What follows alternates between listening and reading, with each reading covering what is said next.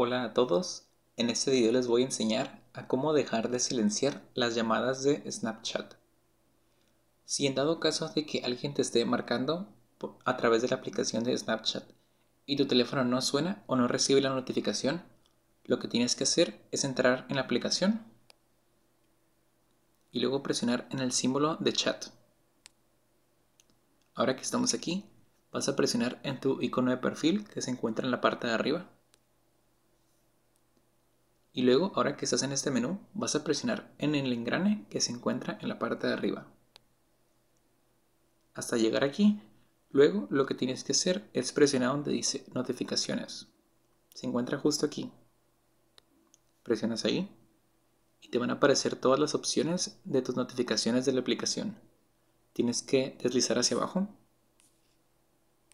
hasta encontrar la última opción que dice timbre. Si se encuentra apagada, como en mi caso, lo que tienes que hacer es prenderla. De esta manera es como has podido dejar de silenciar las llamadas dentro de Snapchat.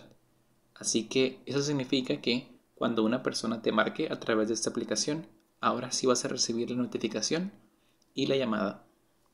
Espero que te haya gustado este video. Si quieres más tutoriales de este tipo, no dudes en suscribirte. Y si tienes alguna duda, no dudes en dejarla abajo en los comentarios.